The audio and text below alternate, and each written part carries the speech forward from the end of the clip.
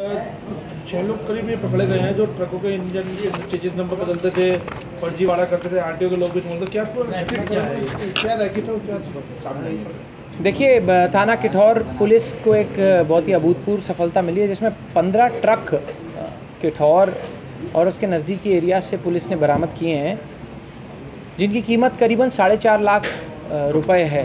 साढ़े चार करोड़, साढ़े चार करोड़ रुपए है और पुलिस को अभी ये बात पता लगी है कि ये ट्रक जो है वो इनके जो इंजन नंबर और चेसिस नंबर हैं, ये फर्जी पाए गए हैं। ये रिकॉर्ड्स में टैली नहीं हुए हैं। ये अभी Vahan dot N I C dot in या बाकी अन्य जो आर टी ओ रिकॉर्ड्स होते हैं उनमें जो इनके पुराने वाले नंबर तो टैली नहीं हुए हैं। लेकिन इन ट्रकों को लीगलाइज करने के लिए ये गिरोह एक फाइनेंस कंपनी के कुछ लोगों के साथ ताल्लुकात रखता था, जो एक चोरी का मुकदमा उस ट्रक का लिखा देते थे और ट्रक का चोरी का मुकदमा लिखाने के बाद फिर वो ट्रक कोई अपने कब्जे में लेके उसका पुराना इंजन नंबर चेसिस नंबर मिटा के नया इंजन नंबर चेसिस नंबर उसके ऊपर डालकर और फिर आरटीओ के कुछ लोग भी इसमें सम्मिलित अभी पाए जा रहे हैं। तो उनके साथ मिलकर ये उस ट्रक का नया इंजन नंबर और चेसिस नंबर उसको उसको रजिस्ट्रेशन में डलवाया करते ताकि इस ट्रक को ये लीगलाइज कर पाएँ। तो इसमें दो तरह का फ़ायदा होता था। एक फ़ायदा उस व्यक्ति का जो इनको शुरुआत में ट्रक दे रहा है, जो फाइनेंस का कर्मचारी है, एक फ़ायदा उसको होता था, दूसरा फ़ायदा एक चोरी का मुकदमा दर्ज होता, दर्ज हो जाता था, जिससे ये ट्रक जो है, वो गायब हो जाता था रिकॉर्ड से।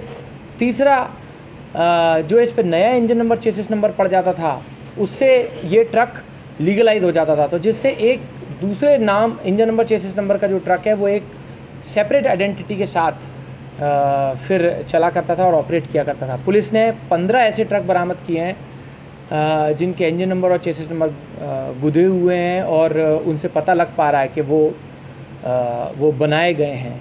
तो ये पुलिस को ये एक बड़ी सफलता मिली है। अभी पुलिस को पता लगा है कि साठ पैंसठ से भी ऊपर कई सारे ट्रक हैं जो इन लोगों ने अभी किए हैं, इस तरह का काम जिनके साथ किया है। और ये बड़े पैमाने पर ये इस गिरोह को चला रहे थे पुलिस लेकिन पंद्रह ही अभी बरामद कर पाई है। कई सारे और भी हैं जो पुलिस बरामद अभी करने का प्रयास करेगी। सर कहाँ- जो ये नंबर जो ये ये- नंबर इन पे मिले हैं ये ट्रक के नंबर है क्या? कई बार ऐसा होता है स्कूटी के कार के नंबर फेक नंबर डाल के भी यूज़ कर देखिए ये जो इंजन नंबर चेसिस नंबर हैं ये जो टाटा कंपनी है उसके द्वारा जो इशू किए जा रहे हैं वहाँ पर कहीं पर भी टैली नहीं हुए हैं। और ये नए नंबर्स हैं ये किसी भी वाहन से भी मैच नहीं हो रहे हैं। इनको फर्जी तरीके से आरटीओ के अंदर एनरोल कराने का काम ये लोग किया करते थे। सर, कहाँ कहाँ ये पूरा इनका गैंग सक्रिय था? कौन कौन से प्रदेशों में?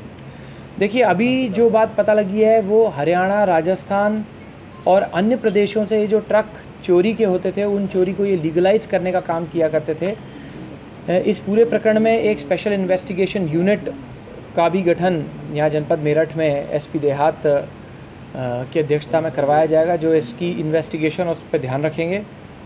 इसके अलावा भी जो भी फाइनल डिटेल्स हैं उन पर भी पुलिस नज़र रखेगी। सर आरटीओ के कितने इसमें कर्मचारी शामिल हैं? देखिए अभी एग्जैक्ट नंबर बता पाना मुश्किल है। कौन आरटीओ के लोग थे? क्या कोई दलाल बीच में इन्वॉल्व थे? आरटीओ के कौन कौन से? जो अभी मुख्य दो तीन कर्मचारी पुलिस के नॉलेज में आए हैं जो फ़िज़िकल वेरिफिकेशन मौके पर किया नहीं करते थे और वहीं से इस तरह का काम कर दिया करते थे अभी पुलिस को इस तरह की बात पता लगी है। पुलिस उनके ऊपर भी कार्रवाई करेगी। इसी संबंध में प्रमुख सचिव महोदय परिवहन को भी पुलिस अपनी ओर से इंटीमेट कर रही है और जो संबंधित हमारे सीनियर ऑफिसर्स हैं उनको भी इंटीमेट कर रही है ताकि उनको भी ये बात बताई जाए। कितने सालों से काम कर चला रहे कि थे ट्रक कहाँ जी। कितने सालों से काम कर रहे थे? अभी अभी ये बात पता लगी है कि तीन से चार सालों से ये काम इनका चल रहा था लेकिन अभी हो सकता है कई और ऐसी घटनाएँ अभी निकल के आए। कहाँ कहाँ से? हाँ। हैं? कुछ कुछ ट्रक जो है वो उनकी पुराने नंबर की अगर हम एचिंग करेंगे तो हो सकता है वो निकल के आए लेकिन अभी ये बात पता लगी है कि कई बार उनको गोदा गया है। तो उनको रिकवर करना भी एक बहुत ही इंपॉर्टेंट टास्क है। सेकेंड थिंग चाहे वो रिकवर हो, चाहे ना हो, इसमें सेक्शन 411 और 412 का इस्तेमाल होगा तो वो जो प्रॉपर्टी रिकवर्ड है, उसकी सज़ा भी उतनी है जितनी नॉर्मल ऑफेंस की सज़ा है।